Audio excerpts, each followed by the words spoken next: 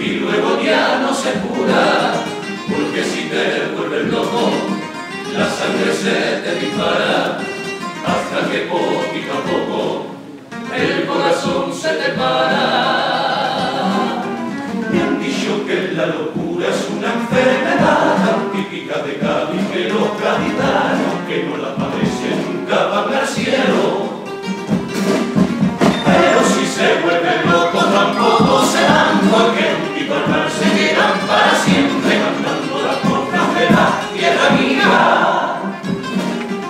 El levante se ve.